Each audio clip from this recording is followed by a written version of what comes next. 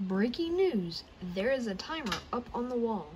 So next week around 2 o'clock, yeah, around 2 o'clock, I'm going to be live streaming this. So you better be there. And if you're not there, you can just watch the video that I create. So yeah, be there if you can.